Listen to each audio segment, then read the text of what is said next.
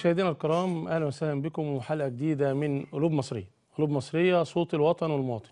في البداية النهارده عاوزين نبعت باقة ورد بنهني النادي الأهلي. حصوله على برونزيه كأس العالم للأندية امبارح في مباراة أكتر من رائعة. كل التهاني كل التبريكات أنا أنا زملكاوي بشجع نادي الزمالك. بس واجب علينا إن إحنا نقول للنادي الأهلي ألف ألف مبروك شرفتونا وشرفت الكرة المصرية. آه كمان آه بوجه كل الشكر والتحية والتقدير للسيد الرئيس عبد الفتاح السيسي.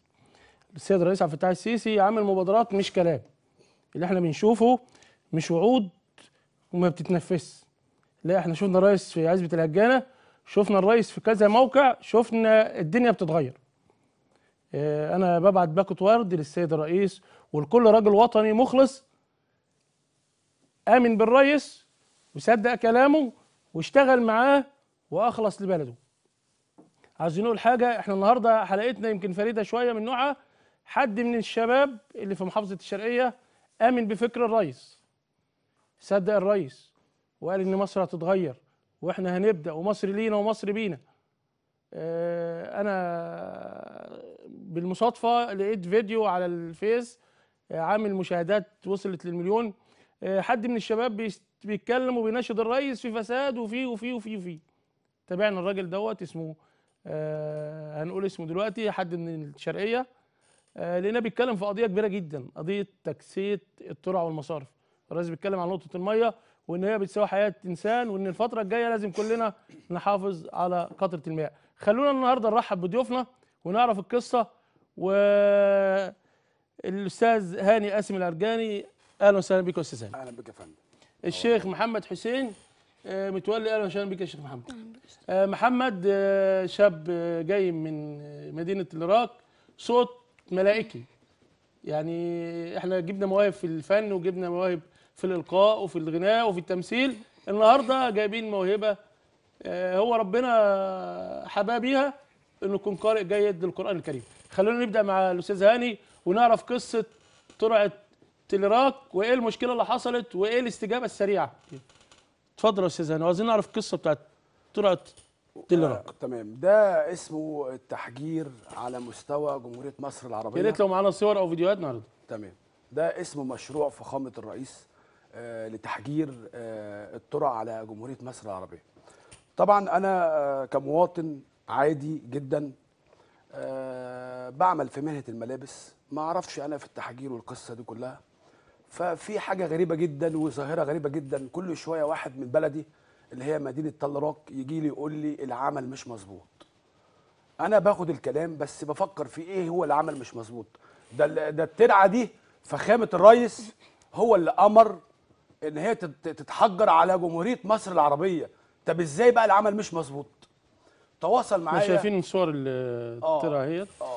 ده صورة الميدان بعد الترعة ده ميدان المصحف في إحنا. هنتكلم على موضوع الترعة آه. الأول نشوف إيه المشكلة اللي اللي خلت إن الوزير وكيل الوزاره يروح لك الشرقية. آه المقاول عندنا راجل محترم جدا صديق شخص ليا اسمه المعلم أشرف أمين. ده قائم على العمل بنسبة 90% من مباني طلراك توجه ليا في المحل وقال لي العمل غير مطابق للمواصفات القانونية. يعني المقاول هو اللي جه نفسه قال لك إن أنا شغال المقاول ده غلط؟ خاص ده خاص. تبعنا إحنا ابن طلراك غير المقاول اللي, هو جاي- آه. المشروع. توجهت معاه خدت بال حضرتك وأنا كنت رايح بأمانة الله كده أتكلم يعني بهدوء مع المهندس ومع الناس الاستشاريين في البلد عندنا. لقيتهم بيتكلموا معايا أنت مين؟ أنا كذا. طب خلاص كده الكلام الكلام قفل معانا لأن أنت مواطن عادي. خدت بال حضرتك. تواصلت مع السيد مساعد وزير الري شخصية محترمة جدا. قال لي آه، يا هاني خد الموبايل وروح للمهندس خليه يكلمني. لما كلمت ال- المهندس اللي هو مفروض إن هو رقيب عن على العمل من قبل الحكومة الموقرة على السيد البيه مقاول لقيت برضو العمل مش مش أنا مش مبسوط نفسيا وال, وال طب أنت ما خفتش من القصة دي؟ ما هو كتير بيقول لك وأنا مالي اهو بيشتغل وخلاص أنا داخل نفسي في مشاكل ليه؟ أنت ليه دخلت في القصة دي وواجهت الموقف ده؟ يعني آه، إيه الدافع كان جواك إنك تعمل كده؟ اولا أنا مش بدافع عن بيتي أو بدافع عن أرضي أو ما بدافع عن بلدي. أنا بدافع عن مصلحة عامة وأنا عارف يعني إيه مصلحة عامة. أصل أنا اشتغلت في المصلحة العامة وعارفها. عارف يعني إيه فلوس تيجي لمدينة زي طل روك؟ 20 مليون 160 ألف. أنا مواطن مصري أنا عندي استعداد وكامل قوايا العقلية إن أعمل الترعة ما بين الصوفية وبين طل روك بالبورسلين كليوباترا فرز أولى. مش هعملها بشوية أسمنت كده بمنظر عشوائي زي ما إحنا شفنا. طبعا فخامة الرئيس عبد الفتاح السيسي في كل خطاب ليه بيؤكد بكل تأكيد إن يجب على كل شباب مصر المحب لبلده إنه يساعدني. فأنا من هذا المنطلق ما خفتش. أصل أنا هخاف ليه؟ أصل دي بلدي. دي بلدي ومن حق أي مواطن مصري إن هو يبقى رقيب على العمل العام في بلده. أستاذ محمود أنا رحت كنت نفسيتي مرتاحة جدا. وكانت أعصابي هادية. لما شفت العمل قدامي والمعلم أشرف كان بيفضل يقول لي على حاجات كذا أنا بصراحة حصل لي حاجة يعني تقدر جايز جايز المعلم أشرف عشان راجل ما خدش الشغلة دي وما دخلش في المناقصة فهو راجل عاوز يشكك في شغل المقاول ال- لا لا لا الأصل. ما عندناش الكلام ده لأن أشرف أمين ده من عيلة كبيرة عندنا وراجل إحنا أولاد عائلات في طلاق عارفين بعض ومش لازم له شغل. طب وإحنا معانا على التليفون ال- المقاول أشرف أمين أهلا وسهلا بيك يا حاج أشرف. عليكم السلام ورحمة الله وبركاته. الله يبارك فيك يا فندم. إزاي حضرتك؟ الحمد لله والله. أنت باعتبارك راجل مقاول وشفت موضوع التاكسيات في الترعة وإحنا شفنا الفيديو وشفناك إنك بتتكلم وبتشيل حاجات كده وبتقول إن العمل ده مش مطابق. يعني أنت أنت كان دورك إيه وعملت إيه؟ في البداية أنا بشكر حضرتك وبشكر آه، أستاذ هاني جاسم العرجاني وبشكر السيد السيد عبد السيد عبد الفتاح السيسي رئيس الجمهورية. آه، والله أنا كنت آه، معدي على الطريق. فوقفت مكانتي ووقفت لقيت الشغل مش مش مش مطابق للمواصفات اللي- اللي- الهندسية. طب انت بمجرد النظر كده يا حاج أشرف ولا معاك المقايسة بتاعت الاستشاري ولا معاك آه، القيمة التقديرية بتاعت المناقصة ولا هو لما قال يا شاف- هو. لما قال يا فندم أنا جبت كل حاجة من أصدقائي المناقصة وكله. ومعكش الكلام ده كله وفي الآخر خالص انت بمجرد النظر آه، شفت إن العمل مش مطابق؟ طبعا آه أنا سافرت بره بقالي يطلع 15 سنة كنت بسافر السعودية والأردن والأماكن دي واشتغلت مع مهندسين كبيرة وشفت آه وبعدين هو أنا لما شفت ال- الوضع ال- ال- التحجير ال- ال- الوضع حتى العام المنظر بتاعه مش حلو مش يعني مطابق يعني للشغل الهندسي. آه، فتوجهت بمكالمه للأستاذ هاني لأن هو بصفته هو راجل آه، تليفون بوصل للسادة المشاهدين كتير لأن هو صفحته معاه متابعين كتير. فاتصلت عليه وقلت يا أستاذ هاني الوضع واحد اثنين ثلاثة الشغل هنا مش حلو إزاي؟ يا شيخ؟ قلت تعالى يا حضرتك فاتكلمنا مع المهندسين المهندسين ولا ال- الحقيقة لما قلت النادي بالنسبة للفاصل اللي هو الفاصل التمدد اللي هو بين ال- البلاطات وبعضها ما فيش فيه فوم خالص. واخد بالك إزاي؟ بالنسبة للحجاره اللي هي محطوطة في أرضية الترعة في قاع الترعة كل مسافة تلاقي حجر حجر حجر. مرة ثانية يطلع 3 4 سم فوق ظهر الحجر يمكن وكيل الوزاره لما يجي شاف حضرتك على الطبيعة. آه، حدانا التبطين ذات نفسها على ظهر ال- الشجله اللي هي طب إحنا يا حاج أشرف عشان وقت البرنامج أنت شفت إن في استجابة من المسؤولين بمجرد إن الفيديو نزل على صفحات الفيس؟ أكيد طبعا أكيد طبعا. آه، السيد وكيل الوزاره شرفنا والسيد رئيس مجلس المدينة بتاعنا برضه شرفنا وعملوا آه، استشارات إن هي آه دي خطأ هنا دي خطأ هنا وقاموا آه، بسرعة التوجه لنا وكل حاجة تمام الحمد لله. أنا أنا بحييك يا حاج أشرف على الروح وبحييك انك راجل وطني وراجل آه، بيهمك مصلحة البلد وإنك شفت حاجة آه، آه، اتكلمت فيها. أنا بحييك ويا ريت. كل الناس في المحافظات مصر في الكفور وفي النجوع يتصرفوا نفس التصرف. شكرا حاج أشرف. فخامه الرئيس عبد الفتاح السيسي قال كل إحنا لازم نساعد بعضنا أنتوا لازم تساعدونا عشان نتوصل مع بعضنا لنتيجة أفضل شكرا. وأحسن. شكرا حاج أشرف شكرا جزيلا. آه، نرجع للأستاذ هاني تاني ونقول لي إيه إيه التداعيات بتاعت ال...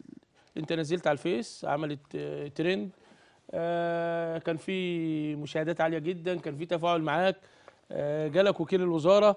الموضوع تم إزاي دلوقتي؟ انت شايف إن هو اتصلح ولا هو نفسه زي ما هو؟ والله أنا يا فندم يعني هو كان المفروض عليا إن أنا أتوجه إلى القيادات العليا هنا في في في محافظة الشرقية أو القيادات في وزارة الري. النواب فين من القصة دي يا أستاذ هاني آه خدت بال معاليك؟ النواب. آه ما أنا هكمل لك يا فندم. فأنا لازم أتوجه ويوم كامل ويومين فالعمل مش عجبني بصراحة فقلت أسرع حاجة إن أنا أنادي المهندسين والشعب المصري أكيد صوت هيوصل لفخامة الرئيس. إنه بالنسبة للنواب يا فندم النواب عندنا في ولاد صقر كفر صقر فاقوس آه لو هنقدر نتكلم هم ثلاثة فردي تقريبا واثنين قايمة. الثلاثه فردي حتى الآن الموبايلات بتاعتهم اتقفلت.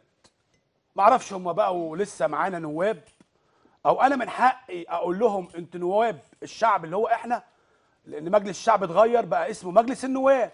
فهو ده المجلس ده بتاعكم ولا لينا إحنا؟ فأنا طب محروم. آه، هنرجع لك تاني. آه أما لا لحظة معلش مع لا ما تقطعش الكلام بتاعي يا فندم. أما نائبة القائمة طبعا متواجدين اللي هم ال- ال- الستات آه، النائبه سور القاضي والنائبة سكينة دي من الناس المحترمة ومقيمين عندنا في يعني انت. أنت النائبات المحترمات اللي عندك أنت بتعترف إن هم لهم دور والنواب ال- الرجالة ما لهمش دور. لا أكيد طبعا ممكن يكون ليه دور جاي بس اللي أنا شايفه دلوقتي مفيش حاجة. يعني لما يبقى نائب واخد 100 و- مجاز ال- 102 مجا- ألف صوت يا فندم. مجاز النواب دي يا أستاذ هاني أنت كان ليك مصلحة معاهم في الترشيحات وما خدتش المصلحة؟ آه أنا ليا مصلحة معاهم بالعكس أنا اضل مصالحهم أنا ما باخدش من حد مصالح. أنا أبويا الحمد لله راجل غني جدا فأنا مش هبص لحد. اولا يا فندم أنا هكلمك على أرض الواقع. لما يكون نائب واخد 102 ألف أكبر نسبة على مستوى جمهورية مصر العربية ويبقى تحت قبة البرلمان وبخاطب رئيس مجلس الشعب أو مجلس النواب وبقول له إحنا نتمنى من معاليك تطهير المصافي. وبيقرا من ورقه وما. مش عارف يتكلم من الورقه. طب هيبقى نائب زي هيبقى نائب بيمثلني إزاي؟ هو في حاجة أصلا اسمها تطهير مصافي؟ تطهير مصفى ده يا محمود بيه بين راجل صاحب ارض وراجل صديق جاره. فهم الاثنين بيطهروا ما المصفى تيجي ما تيجي ناخد ريست شوية وناخد نفسنا؟ أنا عاوز أشرب شاي يا محمود بيه. ناخد نفسنا. الشاي إن شاء الله بعد البرنامج. تشرب شاي اتفضل. أنت أنت واضح إنك دخلت الاستوديو غلط بقى؟ لا لا لا لا لا, لا. أنت صاحب واجب والله وكرم علينا. آه خلونا مع آه، الشيخ آه، محمد. آه صوت من الجنة صوت آه شاب آه واعد. آه أكيد آه هنحس بيه دلوقتي وهنحس بمعاني القرآن وإحنا بنسمعه. آه خلينا نسمع الشيخ محمد. اتفضل يا شيخ محمد. الكاميرا بتاعتك. ألم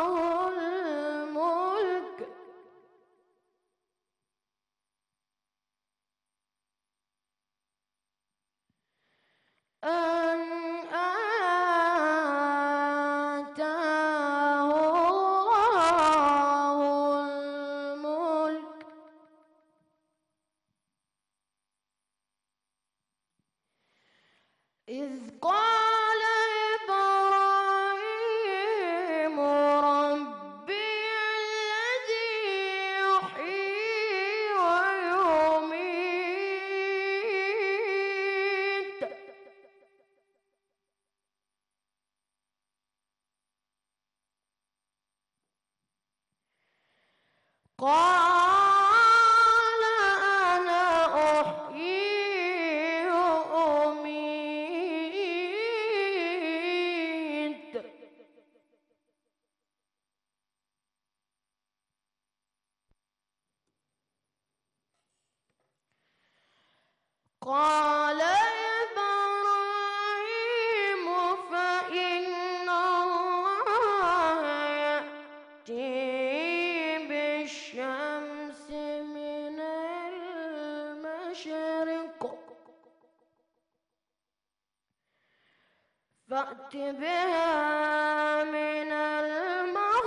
is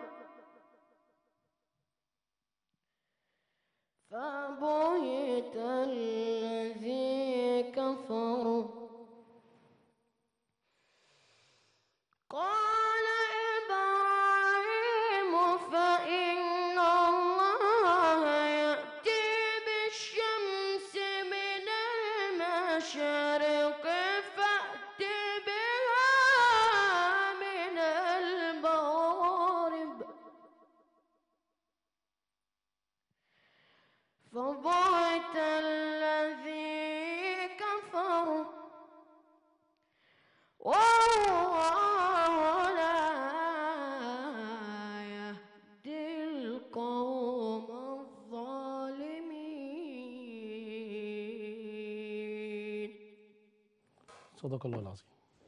آه، يمكن الشيخ محمد آه، وجوده معانا في الاستوديو بيوصل رسالة بيوصل رسالة للآباء لأولياء الأمور. ربوا ولادكم كويس. حافظ على تربية ولادك. ما تسيبوش في الشارع ما تسيبوش على صفحات الفيس والآخر خالص تقول إن إحنا بنخلق جيل جديد هيخدم بلدنا. لا اللي إحنا شايفينه وشايفين الجرائم اللي بتحصل وأزمة التكاتك وجرائم القتل وال... واللي إحنا بنشوفه على الصفحات وكل يوم مشكلة وكل يوم واحد بيقتل أبوه واحد بيقتل أمه واحد بيقتل أخته. آه، نتيجة إن إحنا أهملنا في تربية ولادنا الشيخ محمد النهارده أنا بحييه وبحيي أهله وبحيي أسرته اللي ربيته كويس وربيته على التدين وعلى الالتزام وإنه يطلع يخدم بلده. هو ده الجيل فعلا اللي إحنا محتاجينه الفترة اللي جاية. أنا بحييك يا شيخ محمد وبحيي أسرتك في شخص الشيخ محمد. خلينا نكمل مع الأستاذ هاني.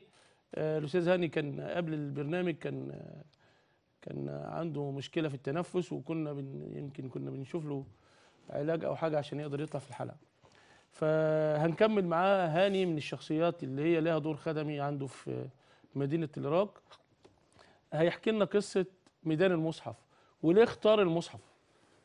قصة ميدان المصحف إيه؟ والله موضوع المصحف ده يا فندم آه، دي قصة بلد. طبعا إحنا في العمل العام هنا في تل روك آه، أولاد صقر شرقية آه، غير أي بلد تانية. كل حاجة عندنا الحمد لله رب العالمين آه، بتتم بالجهود الذاتية. وبيرجع الفضل لأهل تل روك الناس المحترمة اللي بتقوم بالتبرعات الذاتية رب- الذاتية وبتساعدنا دائما إن إحنا نعمل حاجات جميلة لتل روك. يعني عندنا بنسبة 70% من الخدمات اللي ب- بالتبرعات الذاتية. مستشفى مركزي. كل حاجة بنساند الحكومة فيها بالتبرعات الذاتية.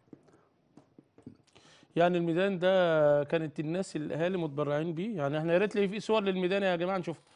ال- الناس ات- اتبرعت عشان تعمل الميدان ده. طب كان إيه الهدف منه؟ أنا حبيت أعمل شعار لبلدي. خدت بال حضرتك. أنا شايف في صورة ليك هنا قدام ال- بتشتغل بنفسك اهوت و...